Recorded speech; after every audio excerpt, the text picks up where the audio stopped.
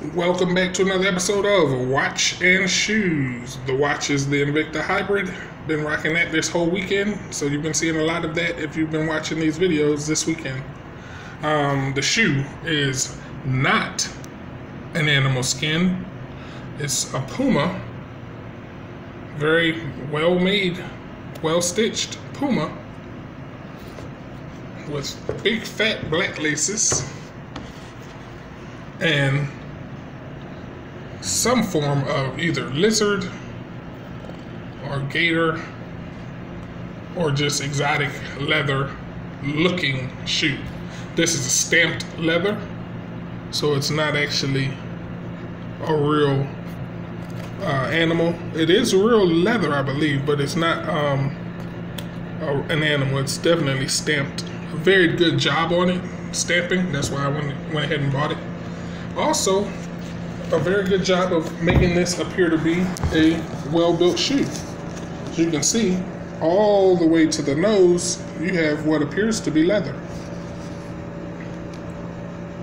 So, whether it's genuine animal, exotic animal or not, it's a well-made shoe and it's intended for you to appreciate the uh, extreme amounts of leather, even the leather foot insole, uh, leather tongue. I mean, they really went hard in trying to give you a real quality shoe. Fit and finish here, they did not have fabric poking out like so many other um, brands do when they don't care to complete the, the shoe. So that was pretty impressive to me. Uh, got the Puma logo on the tongue, very big Puma logo.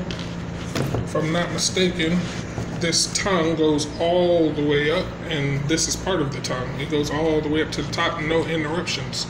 So that's also something you do when you want to make a comfortable shoe for the buyer. And that's what they did with this shoe, and it's very much appreciated and caused me to be a buyer. Um, it's a completed shoe. Uh, I'm a huge fan of the white bottom shoe and the black upper or brown upper. Um, talked about that in a previous video but uh, yeah, Puma did a great job. To my understanding, this is not a collaboration. This shoe is called States. So Puma States. That may be the collaboration, but I see no uh, no attempt to let you know that there's collaboration with anybody. This is just an extremely well-made Puma. And when I see these, especially on sale, and typically if I own it, it was on sale, um, it's going to be a buy every time. It's just a very well made shoe. You can see the double stitching going on here. Why? Just to make a quality shoe. It's definitely not needed. You've got double stitching here. Obviously not playing basketball in these shoes or any other kind of activity.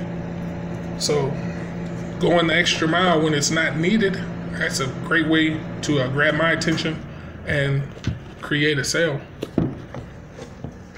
So that's my uh, black Puma.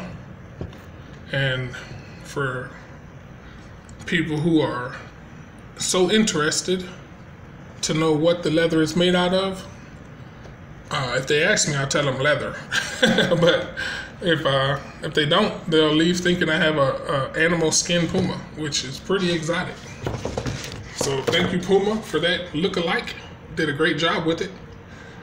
Thanks for watching another episode of Watch and Shoes. Watch and Shoes. Hope you enjoyed. See you on the next video.